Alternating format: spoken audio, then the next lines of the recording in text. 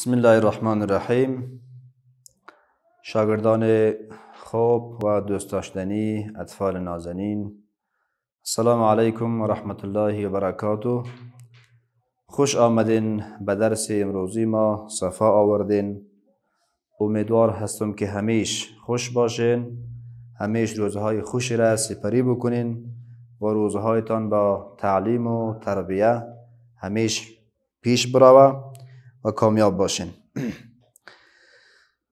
به ادامه درس های قبلی ما درس امروز ما هست موضوع درس ما تلفظ الیف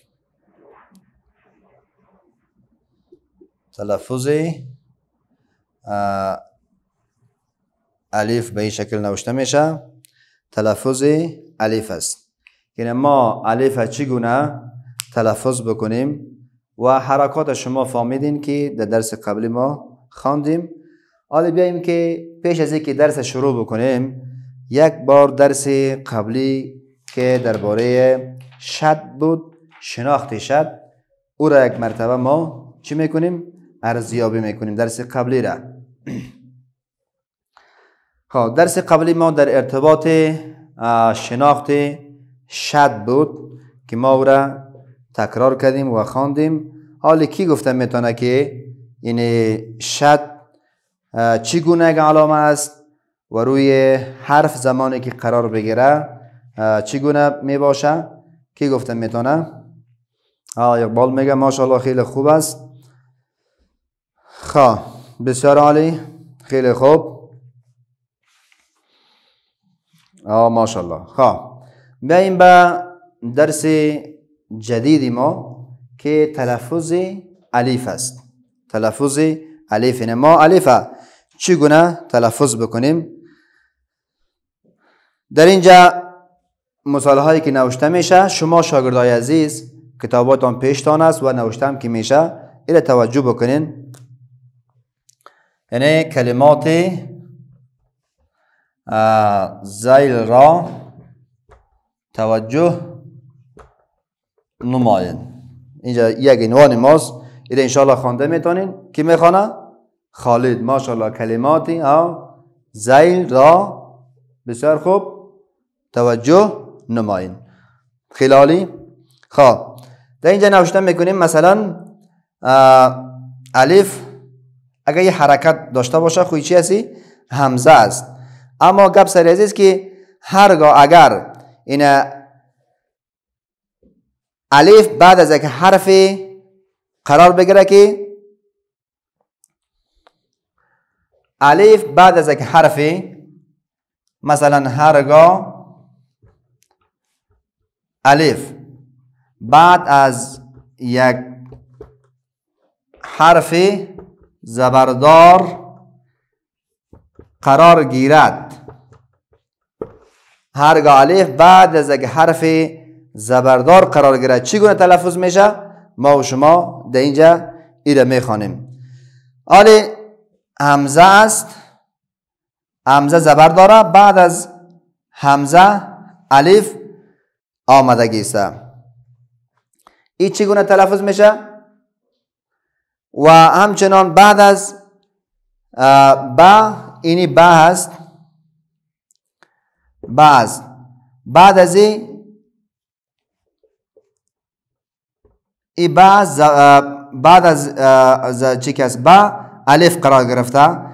ای چگونه تلفظ میشه؟ تلفظ به شکل است که همزه الف زبر آ یا با الف زبر با. یعنی تلفظش همه قسم است که با الف زبر با. بعد از با که زبر داره الف قرار گرفته. ما گفتیم که هرگاه الف بعد از یک حرفی زبردار قرار گیره. آل اینجا الف بعد از حرف زبردار در چی است؟ از که الف در اینجا قرار گرفته. یا مثلا در اینجا است که تا. تا. تا زبر داره بعد از تا چی قرار گرفته؟ الف قرار گرفته است تا الف زبر تا یا مثلا میگه سا الف. بعد از سا چون اینجا الف آمده. ایسا است خب ثا الف زبر ثا ثا الف زبر ثا فهمیدین شاگردای عزیز بعد از جیم هم به همین شکل این جیم است. بعد از جیم که از زبر داره بعد از این الف آمده که این چگونه تلفظ میشه. و همچنان خا است چون اینجا ای خا است. بعد از خا الف آمده چگونه تلفظ میشه به این شکل ای در است که یعنی چند مثال در اینجا براتان ما گفتم به این شکل ناچه میشن تلفظ میشه حالی میایم سر ازی که هر کلام از این تا با آخر ایخو الف بود در قرآن کریم بعض اوقات در جایی که این بیوزی الفی که دراز است یا الف ممدوده میگن در عربی الف مقصوره آمدگی است. الف کوچک یعنی. این در قرآن کریم قرآن کریم. گاه اوقات این در بعض حالات اوقات چی آمده؟ مقصوره. مقصوره. مقصوره چی معنا؟ بچه الف مقصوره چی معنا؟ کی میگه؟ خالد میگه. آفرین. الف مقصوره. الف یعنی کوچک. الف مقصوره. یعنی الف الف کوچک. الف مقصوره یعنی الف کوچک. خب. مثال از مثلا در چی؟ بعث ناکم. گفتیم که در قرآن کریم گاه اوقات الف مقصوره آمده. الف مقصوره چی بود؟ من قوس می‌گیریم شاگرد عزیز. یعنی کوچک. خب. مثالش مثالش بعث ناکم.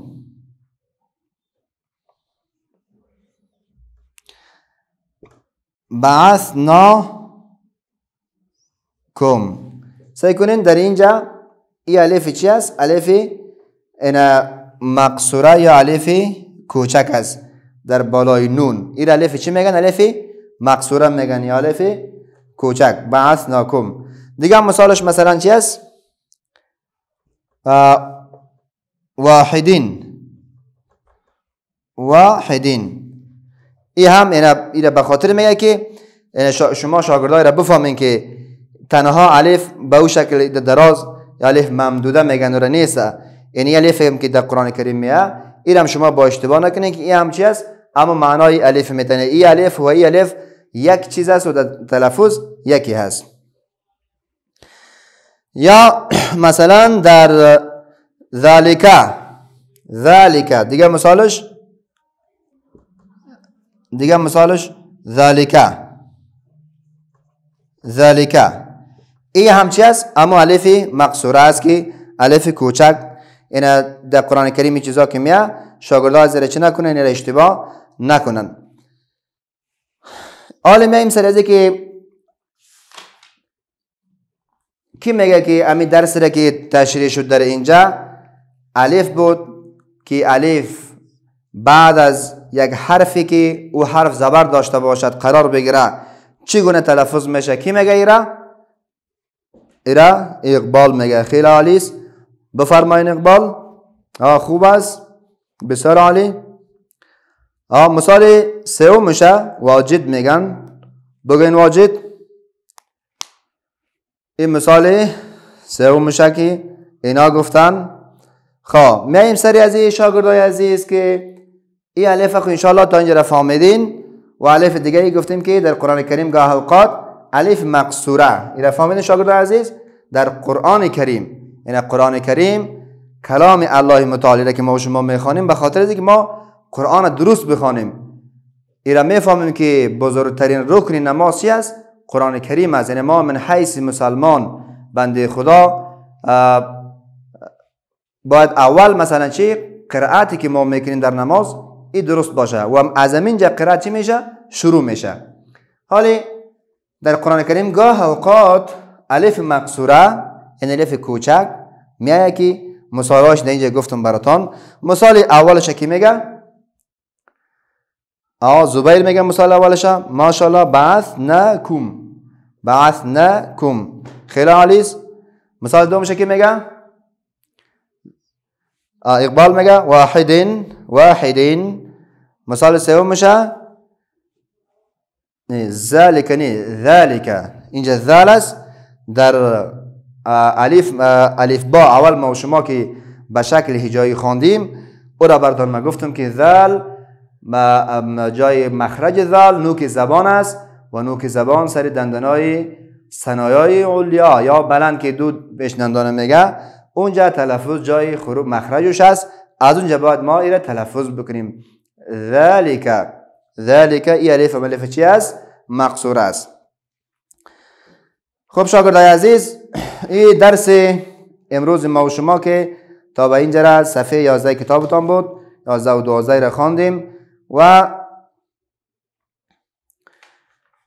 خدا کنه که شما این درس را درست آموخته باشین و درست یاد گرفته باشین و بازم شاگرد از گفتم براتان که در خواندن مضمون قرآن کریم چون این تهداب است اصل است.